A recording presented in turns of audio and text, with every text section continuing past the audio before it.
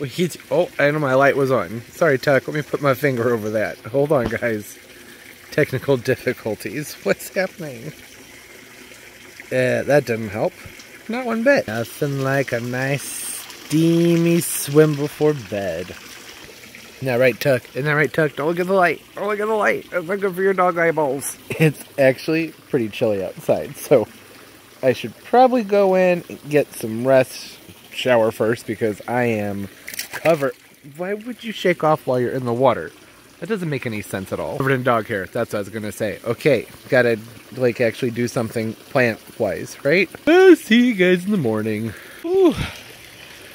Already a busy morning. It's supposed to start raining here like any minute and rain all day. So I just like I had to get something done out here. So I said what I was gonna do. I had a magnolia here just potted up for winter protection. It's over here now. It's just this. It's a Bracken's Brown Beauty. I wasn't ready to actually get it planted yet. It was supposed to go into a container and the container broke. It's up here on the hill actually.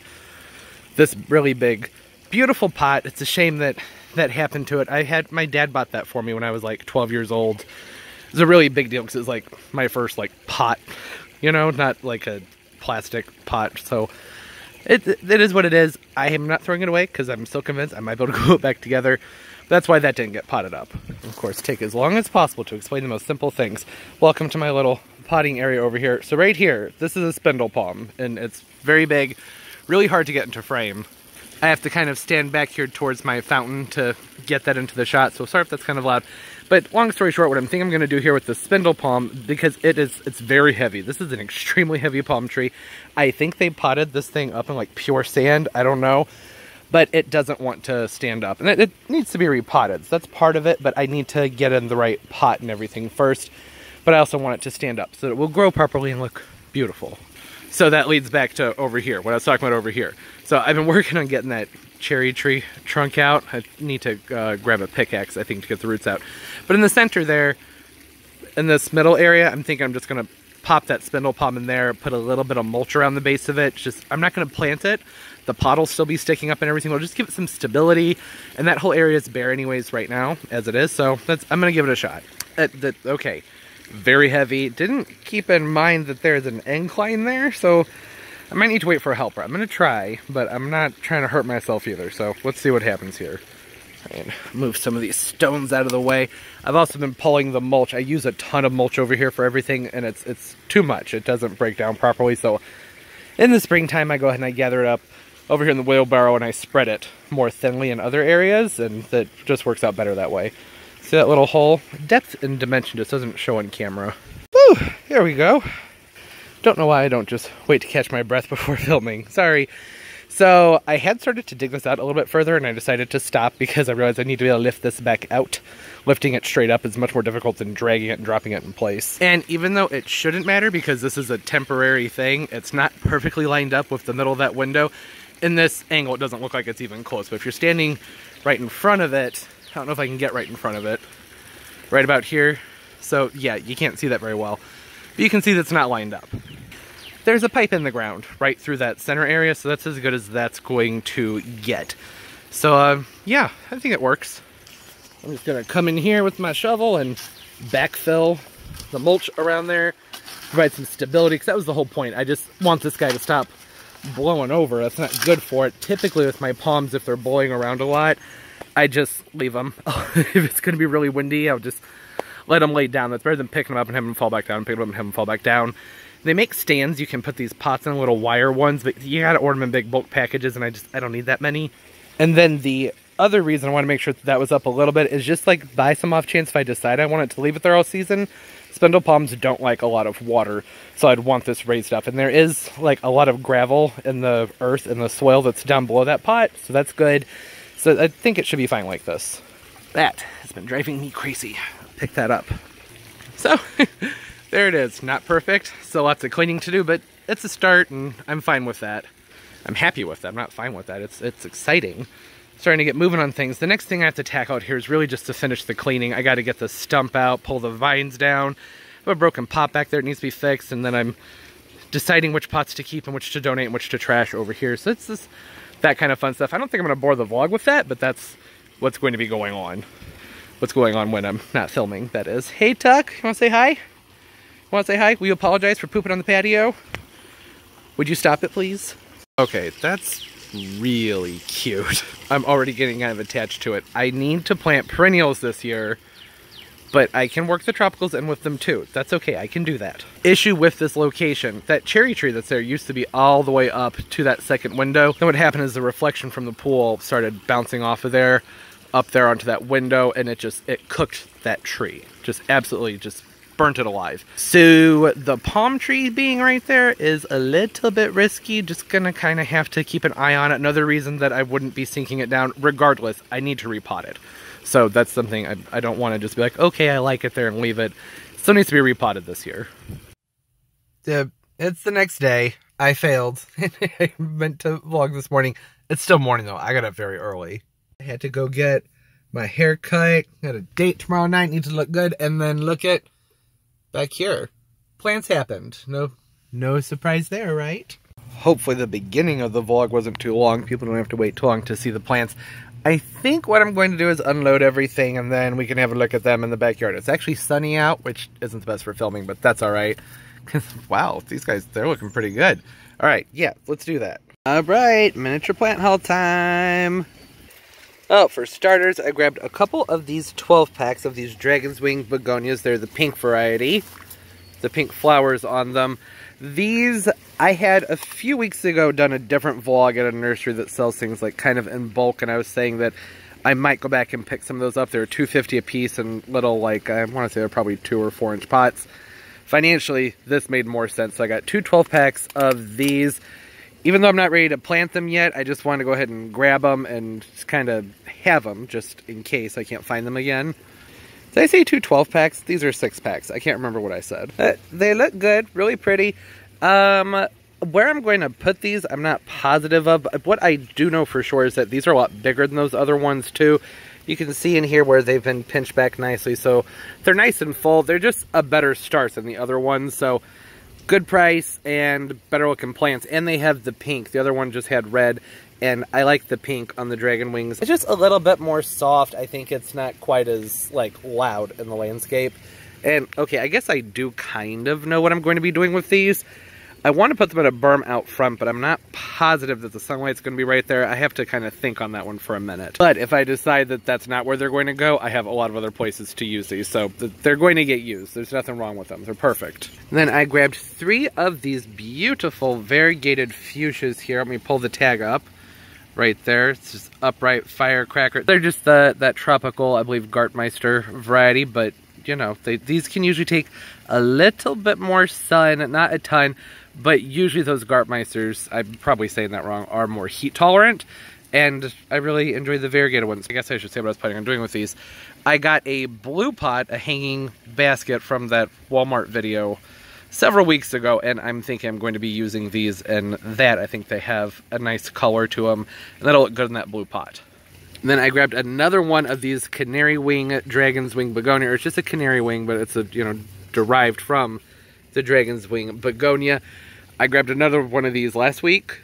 And this plant is actually the whole reason I went to the nursery, just because after I got that one, I was like, you know, I think I would like two of these because I have a couple of planters that I think these will look good in, so I'd want them to pair up together. And I'd only gotten the one, and they're not the easiest to find. So I got the last one they had. They had some other smaller ones, but I wanted one that was going to match the size of the one I already have. So that's the canary wing. Over here, another lovely succulent. It's a tricolor jade. Has a decent amount of growth on it. It does have a couple of broken leaves, but that's not a big deal. Not a big deal at all, actually. So I'll grow this out. That'll look nice someday. Uh, here we have a hibiscus who his his nose broke, but it'll be all right. You know, the hibiscus flowers only last a few days anyways. Typically one day. This is, I think, a two-day flower, though. So that's good. The variety of this one is Orange Sunset Wind. It's really pretty. A nice orange color that fades in with some yellow and then to a darker red in the middle. And imagine, you know, if the flower were more fresh and not broken. I did that. I didn't buy it like that. It'd look a lot prettier. The Tradewinds company, they have some really cool looking hibiscus. I had one for several years. It was called, I believe it's called Montego Breeze, which looked very similar to this one. Its growth was kind of lanky though, and I didn't, I wasn't crazy about how it ended up looking after a few years, so I just kind of ditched it because it wasn't special enough to me to keep it around with its odd growth form. sometimes with these really neat hibiscuses that hibis hibisci, sometimes with the different varieties of hibiscus, you also want to pay attention to the growth habit. Hidden Valley Hibiscus, their website describes their growth habit really well, so it lets you know if you're going to be getting a tall plant, one that grows more wide and outwards, a little bit more stout, and even if it's going to be something that's kind of a long stemmy plant. But I, I really like things that are more full, which brings me to the next hibiscus, who does not have a name. It's just, you know, an assorted hibiscus, but oh, she's pretty.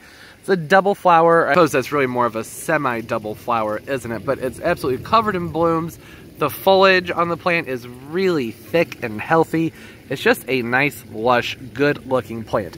That's what I like to see when I buy a hibiscus, something that has a nice round shape to it. It's very full. Covered in buds is always nice. That's helpful because it's nice to be able to look at the flower and know what it's going to look like when you get it home. Though there are variables that can affect that. You know, if you buy them when it's really cold outside, the flowers are going to be smaller and the color could be a little bit different than when things warm up.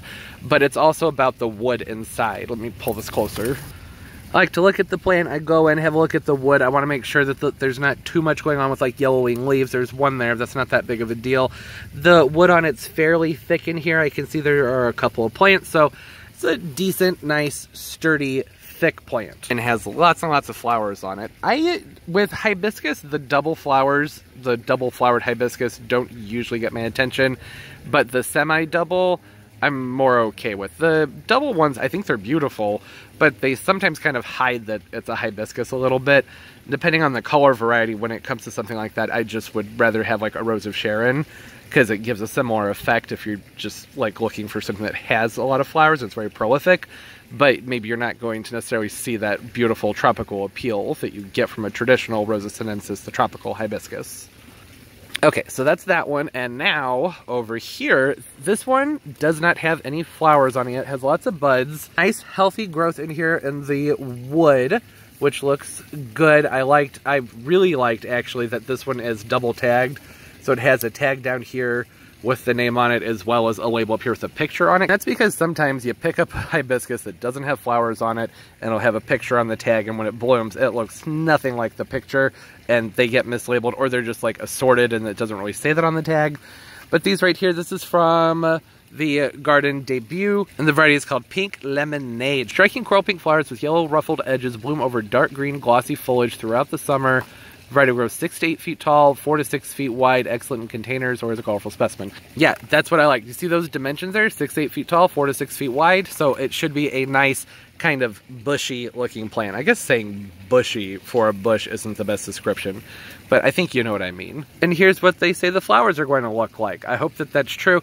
This reminds me of one of my favorite varieties of hibiscus that was called Confection Perfection, and I had one many years ago, not a Confection Perfection, but one with similar flowers to this that I got down in Gulf Shores, Alabama, and it was just labeled as a Cajun hibiscus, which is like a series of really pretty hibiscus, but they have really wonky growth. Like they grow out really wide and they just, they don't look quite right to me, those, the Cajun ones. At least they didn't back then. I'm talking a long time ago, at least at least 10 years ago because I was a teenager at the time. So, but this right here, it looks like it has a nice growth form to it, especially from the description.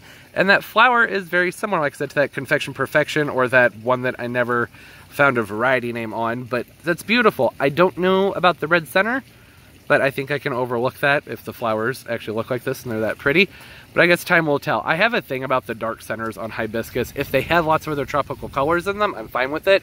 But if it's just like a white flower with a red center, and there's a variety of hibiscus that was really popular in like the bulk stores for a few years that was like a whitish pink flower with a very dark eye in here, and I did not like them. And it was all anybody sold for a long time. The reason I didn't like them though was because to me it just looked kind of like a glorified Rose of Sharon, which is the Hibiscus syriacus, as opposed to the Rosa sinensis, the Hibiscus syriacus, the Rose of Sharon, generally hardy to zone 5. So why buy a new one every single year if you can just plant a perennial that looks the same, right? That was kind of my thing with that. Because it's like, why would I...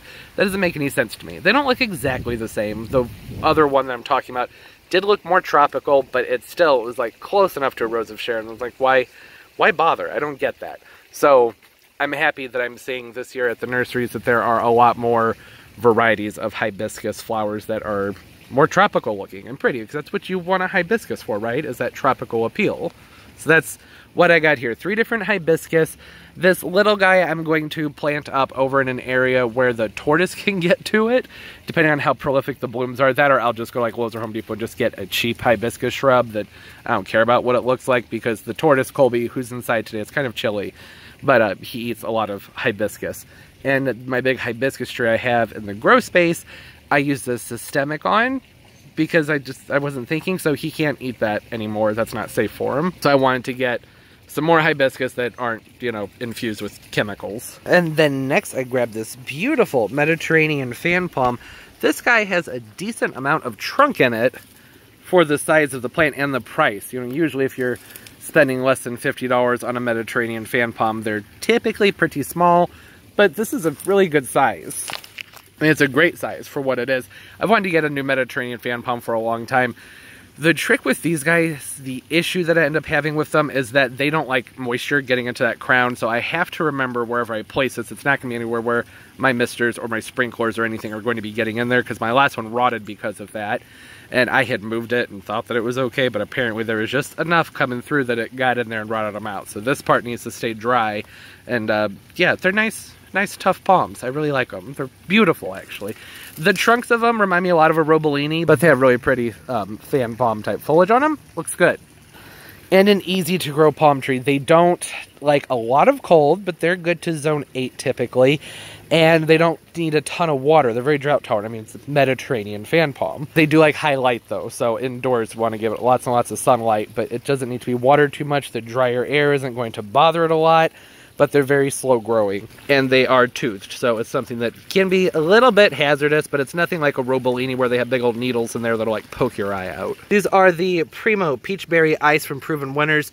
They get really pretty orange foliage in them, on them, not in them, and it has like white veining in it. It's gonna be really pretty. I'm assuming that this coloration they have right now is just because of the time of year and the cooler temperatures. When they get moved into more sun, I think that, that that's gonna color up very nicely. I've had my eye out for these. I'm really excited that I got a hold of them. And then lastly, look at this butte. This was a great deal. This is, I believe, it's an Australian tree fern. Could be a Tasmanian, I don't know. But uh, it was a really good price. Has a really pretty fresh frond up here getting ready to unfurl. It has a lot of bad foliage on it that I need to trim out, but all the ones they had at the nursery did. So I grabbed the best one that they had and this is actually similar to the Mediterranean fan palm in that this crown, I noticed when I've had these before, if too much moisture can get into that crown, it can cause a lot of problems. So need to keep that soil nice and moist for it, but the inside needs to stay fairly dry. I don't want to put it somewhere where the sprinkler is going to be soaking it. But isn't it pretty? Love a tree fern. It's still obviously a baby, lots of growing to do, but with the right conditions, these will grow fairly quickly. All right, so that's everything as far as the plants go. Speaking of ferns, though, I know there was no Fern Friday yesterday. I'm my computer's still broken, and I have to wear headphones in order to edit, and I just I can't. I hate wearing headphones. I, I can't do it. I mean, it's fine for listening to music for a little while, but when editing the videos, it's like a like minimum four hour process. Usually far, far, far more than that.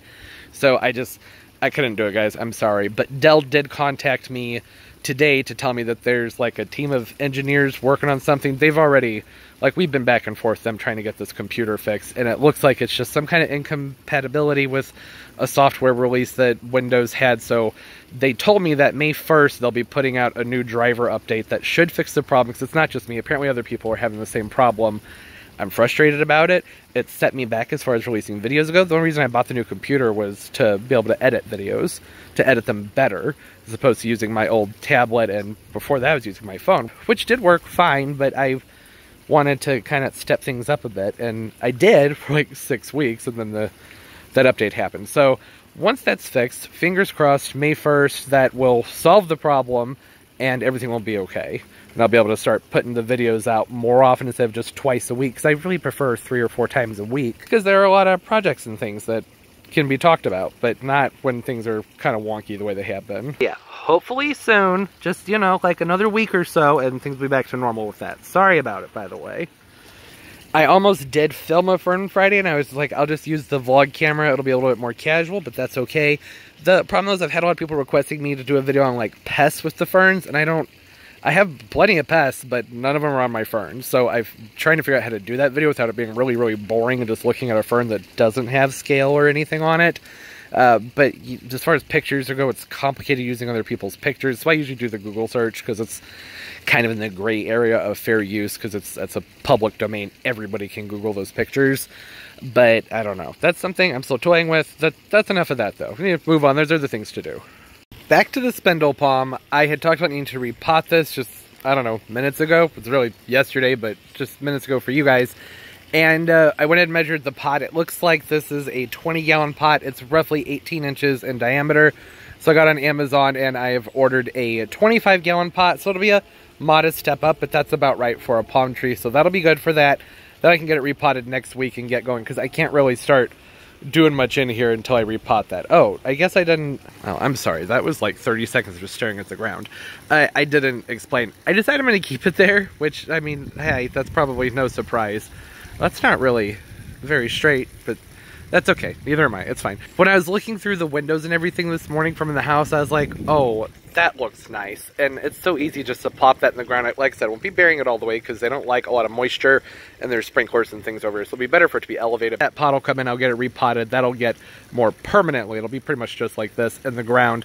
And then I can start planting up around it with annuals and perennials and start to get things looking nice over here, which I'm really excited about. I'm still working on getting this dang stump out. I think I need to go get a hatchet or a saw or something to like really get that root ball out. I'm going to want to plant here so that it's got to go. Same thing with this Alberta spruce. It's done. It's I've been saying that I feel like for a couple years. It's going to go. I'm cutting that out as well. So this will be a very big, wide, open space in here with lots and lots of potential.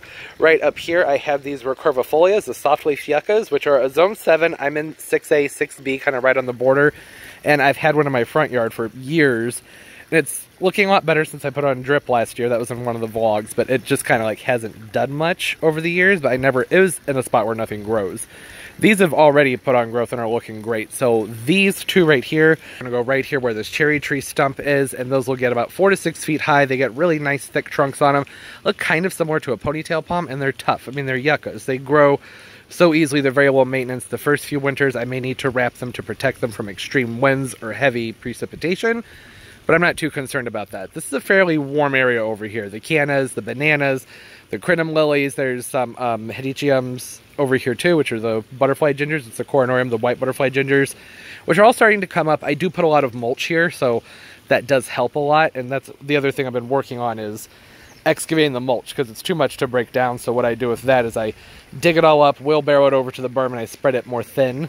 I put it down in a thin layer so it can break down more efficiently if you leave it in these really big tall piles and just being like a fungus thing, you have to constantly turn it. And I don't feel like doing that because I need to plant this area up. So that's what's going on here. I feel like I'm talking so fast, but I just, there's so much I have to say. I'm sorry. And those are going to be going over in here where I'm removing this azalea and the bamboo and everything. This whole garden, this whole bed from all the way here to back there where I was just showing you, things are getting wiped pretty clean here this year. So that's something I'm going to be working on this weekend. And then come next week's vlog, hopefully things will be more of a blank canvas and I can hopefully get started planting. I think we're just about there. Like I said, my step I'm on right now, I've already, I've been cutting down trees and doing all kinds of things that are just kind of boring and slowly tidying up, but it's accelerating quickly. But like I said, see this big pile of mulch on the bananas? I got to break that down. It's too much. This, though, I'll probably spread over here instead of haul it over to my berm. So down here, I have those mule palms this is i'm just like this, apparently this vlog is just talking about projects sometimes i just gotta think out loud and i always like everybody's suggestions and everything it's good getting everybody's feedback so these mule palms they need to be repotted but they have to fit inside of these planters that are right here on the edge of the pool. I have these pots that i got for the Adonidia palms the ones that the frost killed off last year. And i think these will fit. I know that doesn't look like it fits. It's a 24 inch pot. The inside diameter of these blue pots is 20 inches but I think that the way that this, the angle of the pot, I think that it's tapered just right where it'll fit. This part right here is going to stick up, of course, but I think that's fine. I'll just make sure it's full of trailers, which I would do anyways, and that'll cover that. And even if it didn't, the gray and the blue is not going to look terrible together, then the fall can just lift them back out. Those are going to be so happy to get repotted. I'm excited to do that. I just like with the spindle palm, I'm going to wait until next week because when that other pot comes in, then I can repot everything together.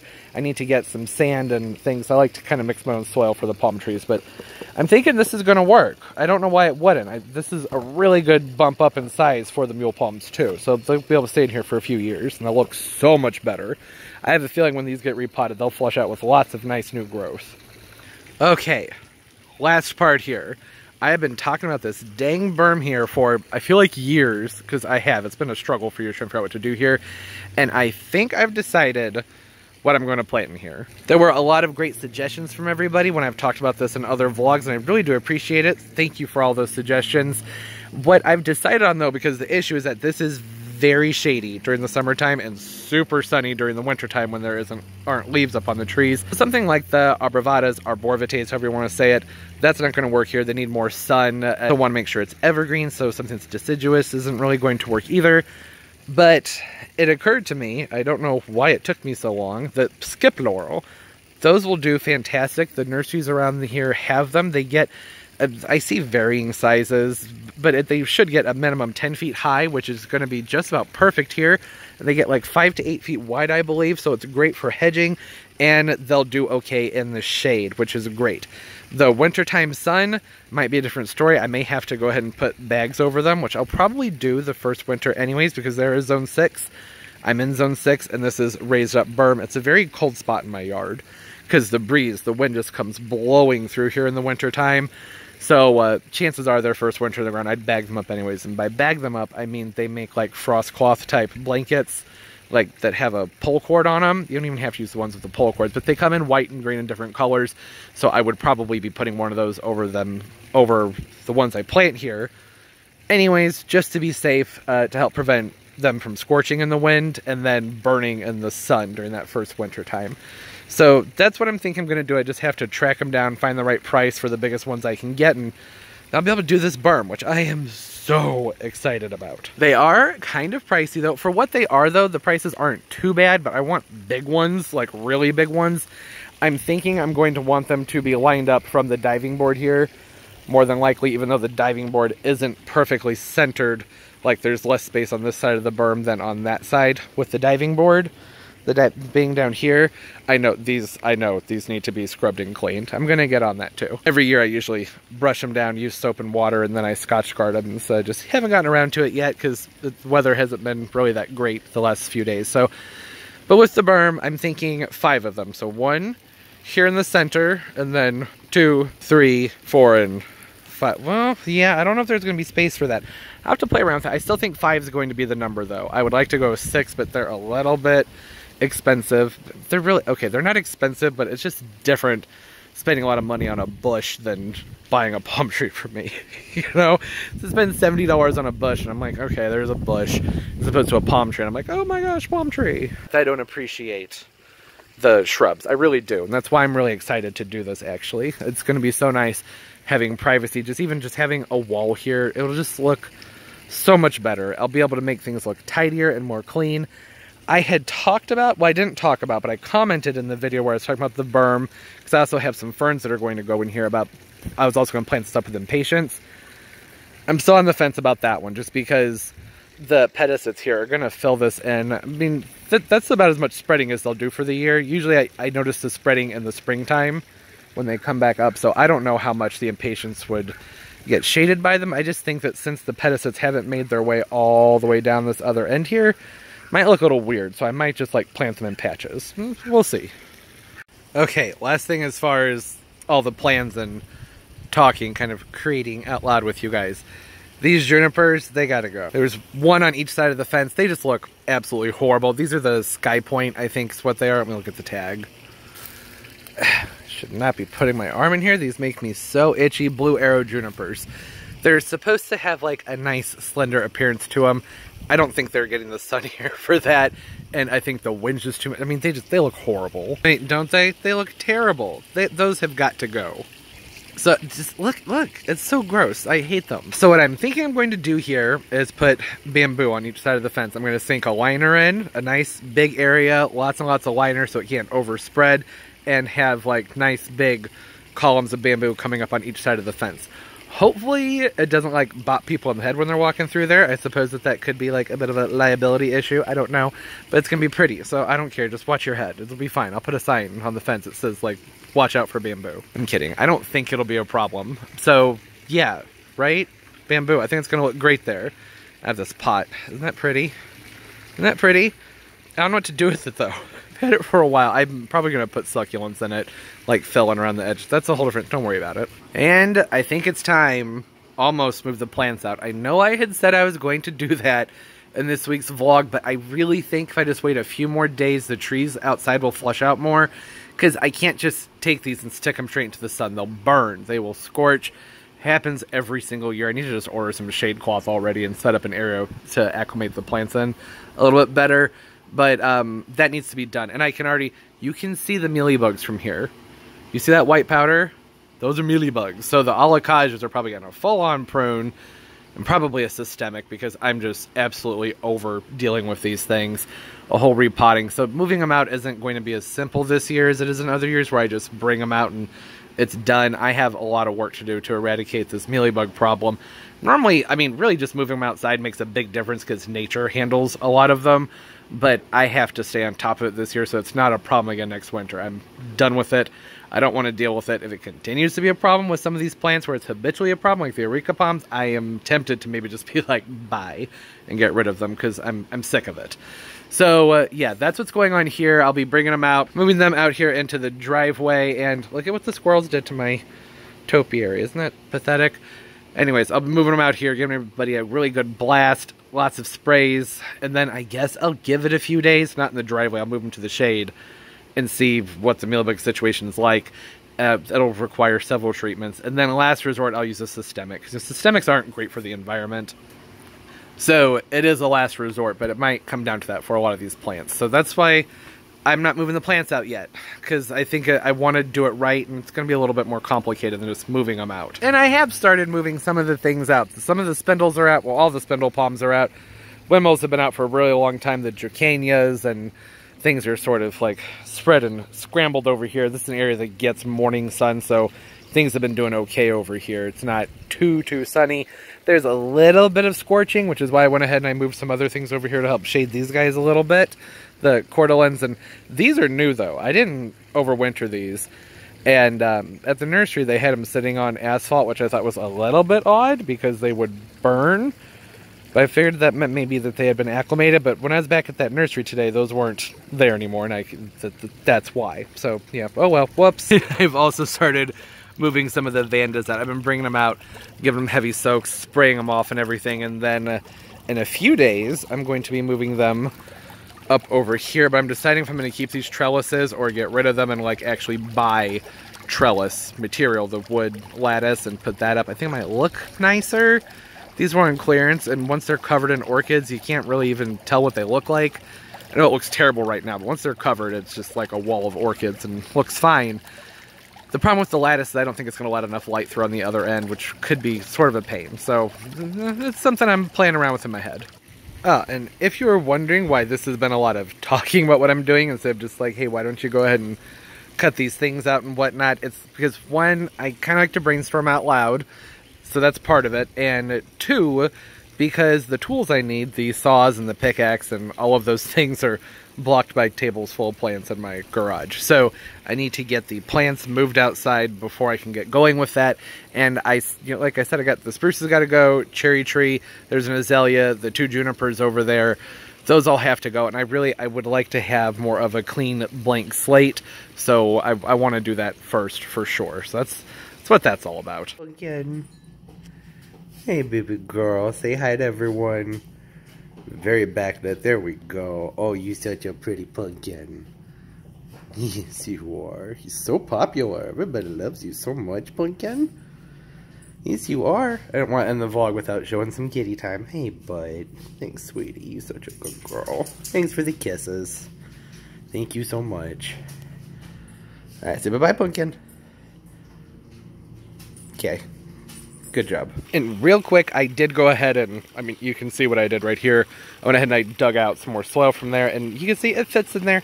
Sure, it doesn't look perfect, but I'm fine with it because this gives me the ability in the fall time to just lift the plants back out and move them in. I don't have to risk hurting myself or breaking these pots removing these big pots in and out every year. So I, that's why I prefer to do an insert like this, just be able to drop things in.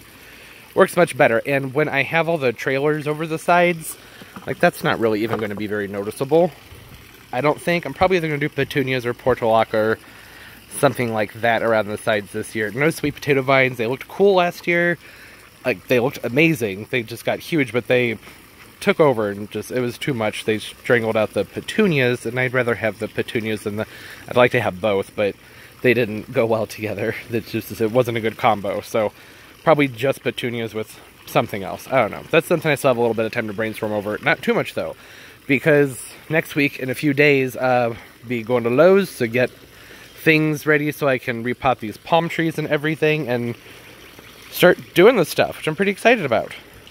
Really excited about next week or so, things are going to be looking incredibly different out here. I even think I figured out what I'm doing here with these pots, so that's great, because I, just, I gotta get them out of here, it looks terrible. And then since I don't have four matching palms, I have the two mule palms, which I've talked about that little dilemma before, because it would cost a fortune to buy two more that are the same size as these guys. These are very expensive palm trees. I had them for fairly cheap years ago, but they were very small. They've grown quite a bit to get them in that size would probably be between five and eight hundred dollars a pop, which I'm, I'm not, not, nope, nope, nope, not doing that. I would rather just suck it up and not have the pots match. I'm fine with that. So I might actually put my white bird of paradise in each one of those, maybe, or some spindles. These spindles back here, the two little guys, those defoliated completely from the frost last year, so they're okay. Now that they're outside, they'll go ahead and flush out and look fine here the next few weeks. And that cushion, why do I keep forgetting to push that cushion up?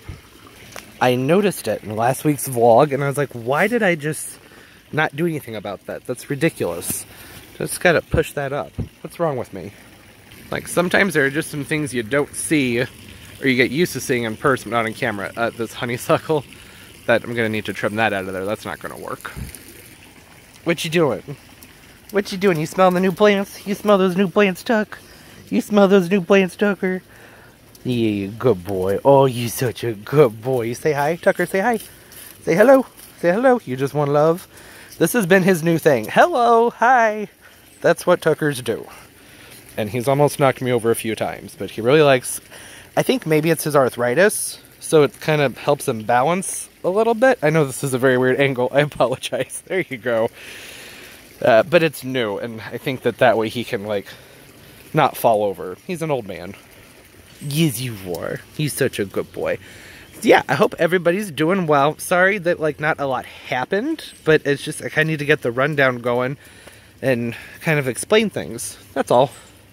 And then, like I had mentioned, moving the, that's disgusting. You don't need to look at the pooper scooper. and then moving the plants out. That's going to make a big difference. I can get my tools out and start cutting all the dead stuff out and clearing things and get to planting. I cannot wait so happy. And as always, thank you everybody for hanging out. Hit me up on my social media. It's linked down below. I use Instagram more than anything else. I'll follow you back that way you can look at each other's pictures and everything. I have a blast doing that. And of course, leaving a thumbs up makes a big difference for the channel, and I really, really do appreciate it. So thank you. And subscribe as well, and hit the notification bell, because I upload multiple times a week. I am loving these fuchsias. They're so pretty. I hope everybody's doing well, having a great day, a great life. Everything's just going beautifully for you. And of course, as always and most importantly, everybody, keep on growing. Bye-bye.